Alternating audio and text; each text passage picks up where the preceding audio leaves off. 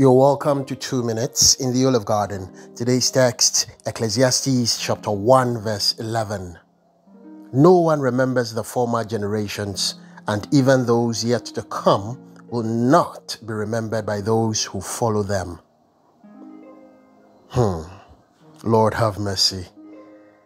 The earth is a very interesting place. Some time ago in my mother church, the instrumentalists uh, became overprotective of the church instruments to the extent that they did not even allow some of the young people who wanted to learn how to play the instruments to even touch those instruments in the first place. 10 to 15 years down the line, some of the instruments are lying fallow and there is no one to play them. All of those who hijacked those church instruments in those days left to another church, and now almost no one even remembers them. I once ministered in a small growing church in a developing area in Ghana, and I told the hard-working members of this fast growing church this.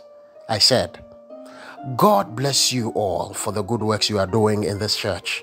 Let me, however, tell you that 20 years from today, when the church has become popular with a beautiful edifice attractive to all, many will come and enjoy the product of your hard work, except that by then, the church will not even remember you, who you are, or what you have done for the foundation of this church.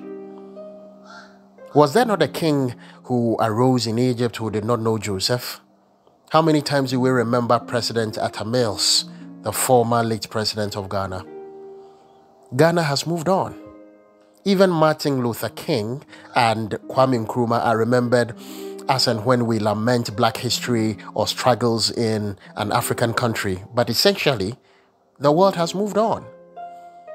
So do what you can on earth, and when your time is up, go and rest peacefully, proud of what you did for Christ and humanity.